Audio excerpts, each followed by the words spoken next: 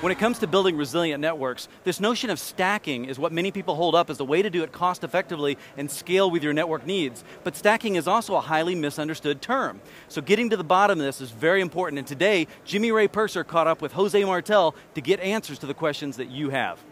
Is stacking just stacking? Actually, no. You know, stacking is just a buzzword that has been used by a lot of competitors. A lot of customers see value in stacking and say, well, stackable switches, I want it, right? But not all stackables are the same, right? Stacking means more than just piling switches, you know, next to each other, daisy chaining. It's more than that, it's operations, automation that goes behind those switches. There's a protocol that activates everything that a customer needs, like ease of operation, ease of adding switches, copying configuration, uh, doing upgrades, and checking if all the switches in the uh, stack have the same version of IOS. Well, now, so, so one of the things that I see a lot of uh, competitor stacks do is that they're actually taking just a standard Ethernet cable and they're, and they're plugging it straight in here. Um, and, and, and, and they're like, okay, this is our stacking, port 1 to port 24, and it's stacked. That's not the case here. We're actually talking about a separate plane exactly. to stack and cluster these together. Well, let's, let's kind of jump into to, to clustering. Is there a difference between stacking and clustering? There's a big difference, right? Clustering is just a manner of uh, uh, uh, aggregating switches via uh, management only. Just management is, is being um, uh, consolidated per se, right? Stacking, so stackable switches, what they do is they have specialized connectors in the back of the switch at high speeds, right? That allow the switches to integrate one with each other. Now, with stacking, switches become one. Not virtually, but physically they become one bigger switch. And you add switches, up to nine switches, as many as you need. Okay, now see, so what now, now what I also hear a lot of folks say uh, competitively when they're talking to me and I'm out on a sales call and they're saying, hey, I don't like the stacking in the back because then if I have a, a if I have a multicast, then it's felt all the way up and down that stack. And is, is that the case? Because I'm like, I don't think that's true. Well, this is what it is, right? What's happening is when you have a stack of switches, right, a packet that is destined to a, um, a group of listeners, right, of a multicast stream, the packet has to go through the entire ring. behind the switches, there's a ring, and a single packet goes all the way because there may be listeners on this ports, right, that may be interested in that stream. When, when you look at competitors, what happens is that what they do is that from each switch, they send a packet for each of the switches in the stack, which multiplies the amount of packets that go in the back, taking a lot of, uh, uh, wasting a lot of uh, bandwidth.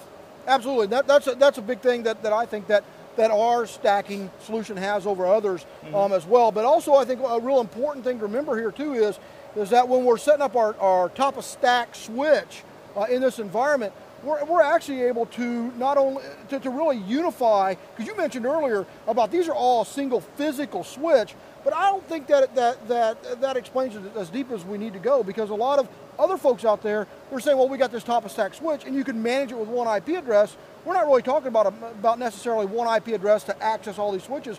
We're talking about tying together firmware, configurations, uh, have some failover res redundancy or resiliency. Exactly, you're right about that. See, clustering means is, is, is about just connecting switches for the purpose of manage, managing, managing those switches with one IP address. But what stacking does is make the switches one, right? Which allow us to use features across the switches let's say I would want to use a port from this switch and a port from this other switch and make them a bundle and make an ether channel, I could do that across the stack. That will uh, increase the high availability on my switch, on my stack for that matter. Right? Absolutely, absolutely. So I think that's a, that's a real advantage um, to the, the, the stacking, uh, stacking clustering uh, type of model is the ability to, to push out the, the, the, entire feature set to keep our configurations consistent. Um, and also uh, our log consolidation uh, for, for troubleshooting and things like that nature so much more easier when we kind of cluster and stack these together. Would you agree or no?